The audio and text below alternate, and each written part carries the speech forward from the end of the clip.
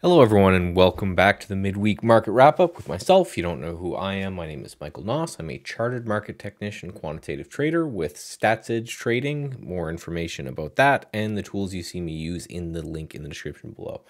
First of all, I apologize that the channel's been a little sparse lately. I've had some business trips. I went to Toronto and spoke at a CMT conference. I hung out with the awesome guys at Trader TV Live. That had me out of the house, away from the recording stuff. Um, but I am back, and I am kind of kind of get back into the swing of things over the next week or so. Uh, starting with the live q&a that is going to be back on sunday so again if you're new here we just midweek, talk about the market, talk about what happened in the market. That kind of comes all into culmination and a live stream that I do on the weekend. If you're interested in more of that, you can sign up for my email list uh, in the description below uh, on my website. I only email out when there's a new video or something that comes out or uh, schedule my live stream. So let's get right into it. I need to go quickly this time because I'm actually speaking at Wealth 365. So I've been kind of pulled all over the place recently, but I'm not forgetting about you guys or the channel. This will be back soon. So what I'm going to have to do today, for the sake of time, is this is just the snapshot of what it is that I am going to give to the Stats Edge Pro members. Um, again, part of Stats Edge Pro is that I give this blog post with all of my thoughts on the market, a watch list, and the whole nine yards.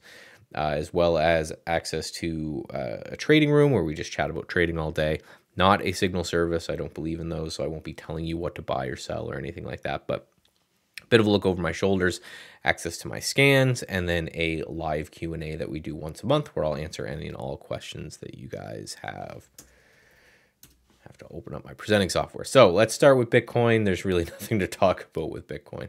So we've been dealing with this kind of consolidation here. You can see my angry notes. Uh, incredibly boring on Bitcoin. You know, we have lower highs here, which is interesting. And then we have just this support zone that it keeps bouncing off of you know, one way or another when this thing breaks, I think it will be interesting. Um, I don't think I would buy an upbreak of the downtrend line just because this thing is overall in a pretty massive downtrend. But if it breaks down, I have an order there to uh, get some on a smart stop. So this chart here is the dollar. You can see the strength in the dollar. We had a little bit of a pullback, and now it looks like we might be pushing into new highs as the dollar. As the dollar keeps going, I worry a little bit about stocks, and I worry about a little bit about um, uh, crypto. They seem to be kind of inversely correlated, at least for now. So if we see this rally continue in the dollar, um, I think everything is going to be a little bit iffy from there. So uh, Euro GBP, I was watching this anchored VWAP failure. We got that. So now I'm looking to see if Euro Pound can get kind of into, if it pulls back to this area and then breaks through.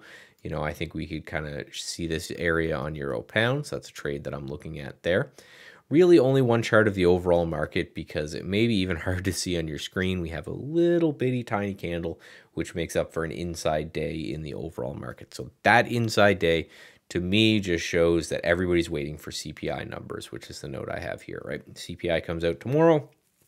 So I think today, you know, large institutions, things like that are just kind of holding on and saying, you know, listen, I'll just wait for, um, I'll wait for CPI tomorrow before I take a big bet. So I'm just going to go over a couple of the watch lists, not all of them.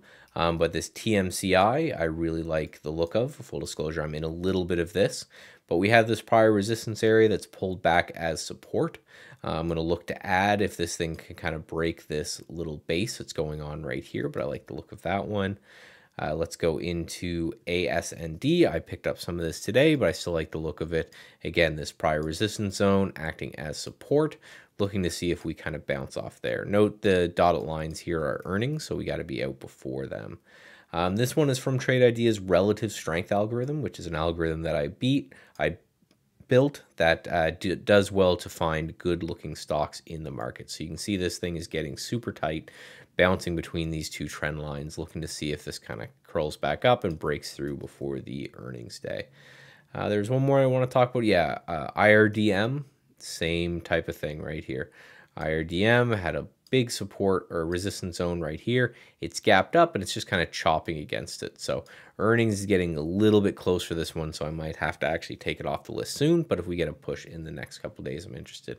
And then just to show you, we have a watch list that looks like this. It's just I update in the back end and it updates here live, um, just showing everything, the, the price that I'm interested in and the, um, uh, you know, the distance from that price. Looks like there's a little error right there, but I'll take a look at that later. And then I just, my thoughts, right? And my thoughts were real, real simple this time, just waiting for C- CPI to drop tomorrow. So, Thank you all for coming out. Sorry, this was a little bit rushed, but again, everybody seems to want to hear me talk recently, which I hope ends soon, and I'll get back into more of a regular kind of timing with the channel. So, thank you all for coming out. I will see you guys later, um, hopefully on Sunday on the live stream. Talk to you soon.